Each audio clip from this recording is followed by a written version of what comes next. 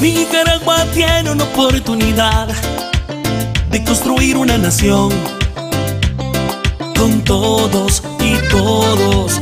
Una Nicaragua en paz, justicia y democracia que supere dictaduras tan absurdas y burdas. Que no me duela respirar. Un país tolerante en que tú puedas expresar y escoger tu futuro. Sin justicia no hay paz, no hay progreso social, democracia ni justicia. El poder es mi voz. Sin justicia no hay paz, no hay progreso social, democracia ni justicia. Y no te olvidaremos, el poder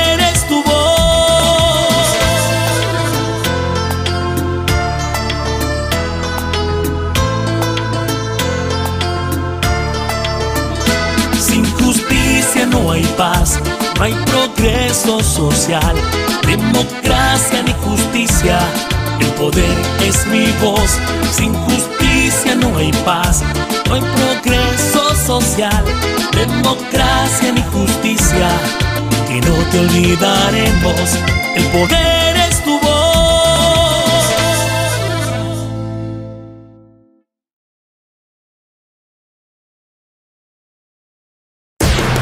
Sistema Informativo Darío Noticias.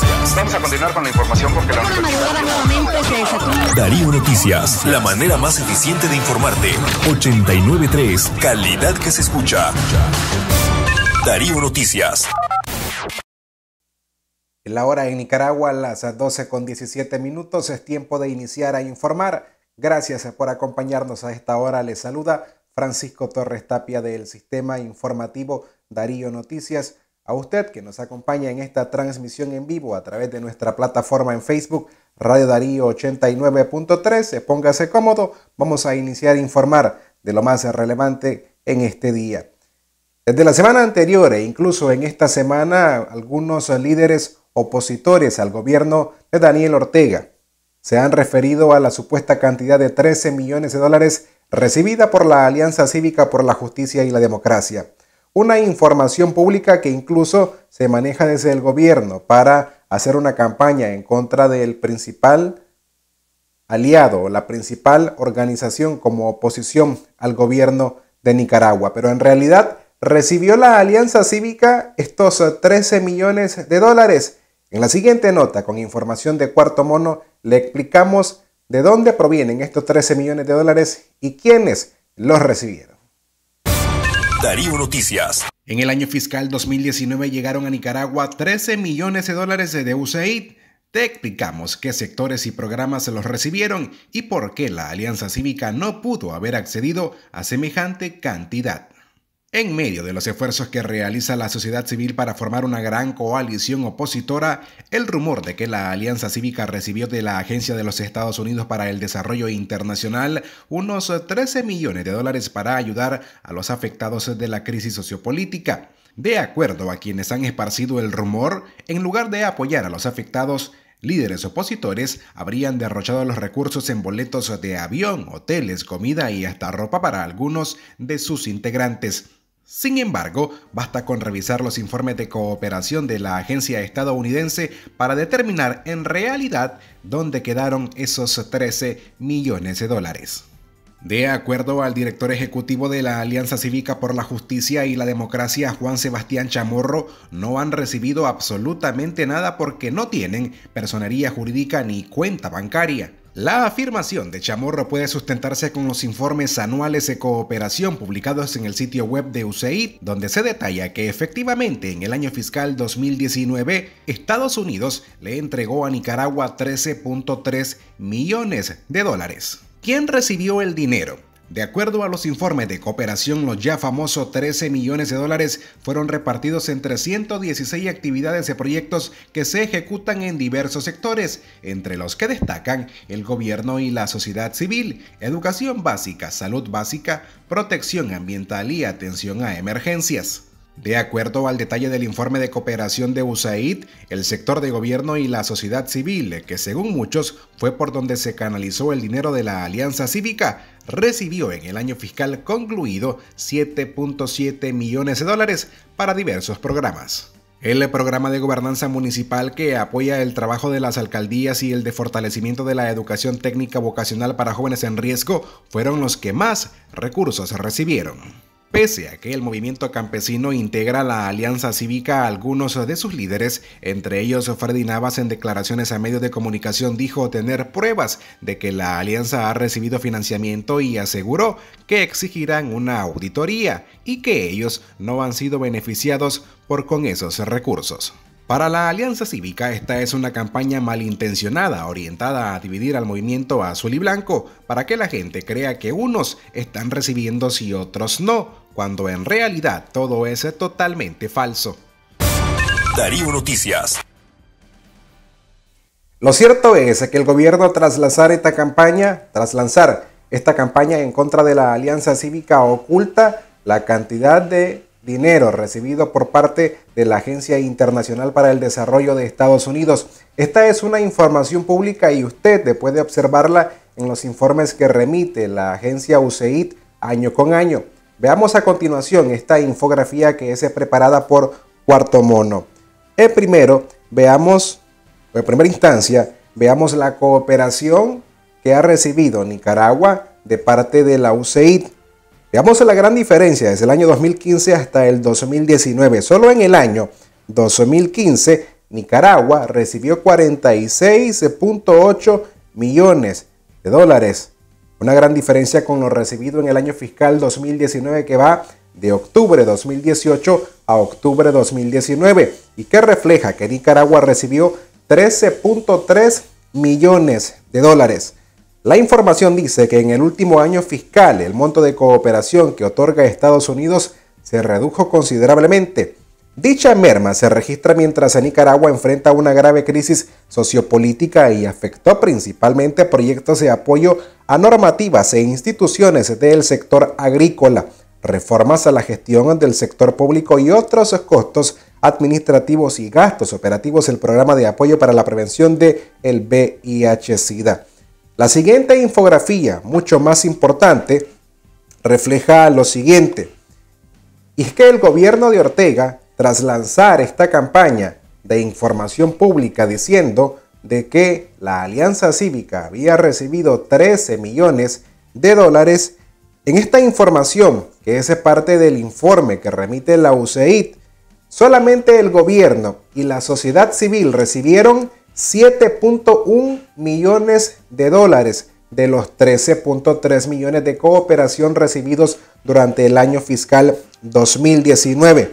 En educación básica, siempre dentro del sector gubernamental, se recibió 13 millones de dólares. Esto sumaría 10.1 millones de dólares. En gastos operativos refleja una cooperación de 2.7 millones de dólares y lo demás en protección ambiental general, atención a, atención a emergencias, conflictos de paz y seguridad y las campañas para el VIH-Sida. Todo esto acumula los 13.3 millones de dólares. Campaña que se ha lanzado en contra de la Alianza Cívica de haber recibido esta cantidad de dinero y que su director ejecutivo, Juan Sebastián Chamorro, afirma que es imposible haber recibido esta cantidad, primero porque no poseen personería jurídica y mucho menos el gobierno se las va a entregar. Y segundo, no poseen una cuenta bancaria. De esta información ahora hay otros líderes opositores que han hablado mucho más claro referente a estos 13 millones de dólares que han sido tema durante la semana pasada y el resto de esta. Veamos a continuación declaraciones de Félix Maradiaga refiriéndose a este tema de los supuestos 13 millones de dólares que habría recibido la Alianza Cívica. Darío Noticias. Yo le creo a la Alianza Cívica. La Alianza ha sostenido de que ese mito de los millones de dólares es algo completamente falso. Precisamente en una conversación que sostuve en algunos medios yo decía de que ese informe de la Agencia de los Estados Unidos para la Cooperación, para el Desarrollo, son fondos de hace muchos años que se consolidan en un solo reporte y son dineros que han entrado a alcaldías sandinistas, al Ministerio de Salud para compra de textos escolares, para programas de alfabetización, para becas de nicaragüenses. Es decir, son fondos de la cooperación a Nicaragua en general, ¿verdad? Eh, me parece que de forma eh, muy, muy mañosa el régimen ha utilizado eh, esa información que es pública para torcerla, para amañarla y para generar toda una cortina de humo sobre el verdadero tema de fondo, que son, en el caso de los fondos, ¿dónde están los 6 mil millones de dólares de cooperación venezolana que han entrado a Nicaragua y que nadie los ve? ¿Cuál ha sido el uso de nuestros impuestos? Ese debería ser, en materia de financiamiento, la pregunta. En segundo lugar, he dicho, y lo sostengo acá, de que la sociedad civil nicaragüense tiene derecho a acceder a fondos de la cooperación para materia de derechos humanos, para promoción de la democracia. Eso no es ningún pecado, ha sucedido en el pasado, se ha reportado con toda eh, transparencia. Desafortunadamente, no solamente el régimen se, se confunde, muchas personas en medio de esta nebulosa de información también eh, han caído en el mito esto de los, de los millones y millones de dólares que en ningún momento han eh, sido utilizados ni por la Unidad Nacional ni por la Alianza Cívica. Yo reitero lo que te decía, yo le creo a la Alianza. Darío Noticias. Gracias por seguir informándose con nosotros. Dejemos a un lado los 13.13 millones de dólares y ahora hablemos de los gobiernos municipales en este país, refiriéndonos precisamente a la alcaldía de Granada. La siguiente imagen hace referencia a la imagen original del monumento público Love del escultor, norteamericano Robert Indiana. A la par, la copia diseñada por el vicealcalde de Granada, escultor también Pedro Mena.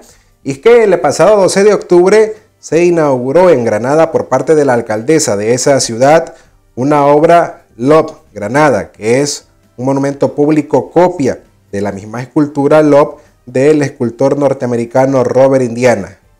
Pero los medios oficialistas no hacen referencia a la obra original y dicen que el monumento fue diseñado por el vicealcalde y también escultor, el señor Pedro Vargas.